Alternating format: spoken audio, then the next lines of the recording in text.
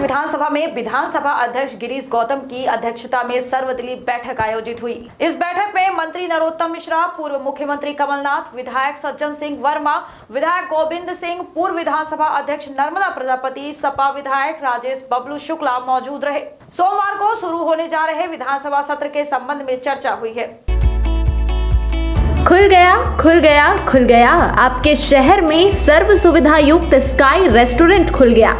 Veg non veg भोजन का लुत्फ उठाने के लिए अवश्य पधारें। हमारे यहाँ स्काई स्पेशल थाली के साथ जन्मदिन तिलक एंगेजमेंट रिसेप्शन के लिए हॉल उपलब्ध है। ऑनलाइन ऑर्डर के लिए संपर्क करें nine zero three nine zero double three double six one पर। पता याद रखें स्काई रेस्टोरेंट विश्वविद्यालय रोड लोटस टावर खुटे ही, रीवा।